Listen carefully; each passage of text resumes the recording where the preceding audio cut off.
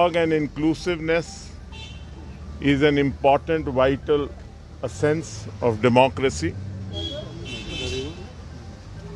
Any dialogue that can take us out of this morass and any dialogue which will lead to the welfare of the state of Jammu and Kashmir and its people, we are all for it.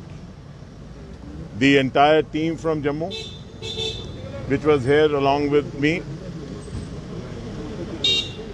have reposed faith in Dr. Farooq Abdullah because he is not only the president of the National Conference, he is the tallest leader of Jammu and Kashmir, and he has assured us that he will represent us and the people of Jammu and Kashmir with his wisdom, and he alone and alone can take this dialogue forward for the welfare of the people of Jammu and Kashmir and anything that is for the welfare of Jammu and Kashmir. So far as Jammu is concerned,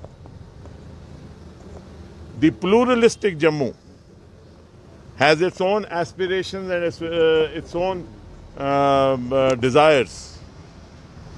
We are for singular Jammu and Kashmir, have always stood for the unity of Jammu and Kashmir and equitable justice to all regions and sub-regions of Jammu and Kashmir.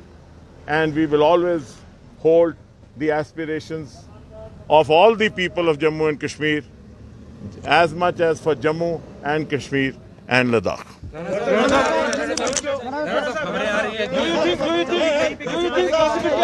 you think, possibility of peace, in Jammu and Kashmir without dialogue process between the two countries? Because yesterday when we asked this question, Mehbooba Mufti, I will not. I will not get into the intricacies. Where Dr. Farooq Abdullah is going for a dialogue. It is a dialogue with the Prime Minister of India, and it's an inclusive dialogue. And we are very hopeful that this dialogue will lead to betterment of the state of Jammu and Kashmir, peace, progress, prosperity of Jammu and Kashmir.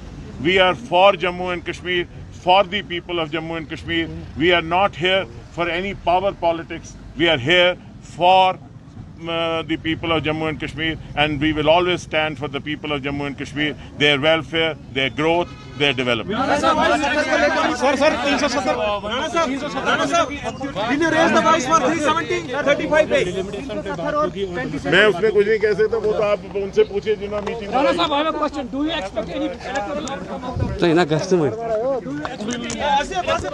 personally I am an Personally, I am an optimist, and any dialogue is the way forward.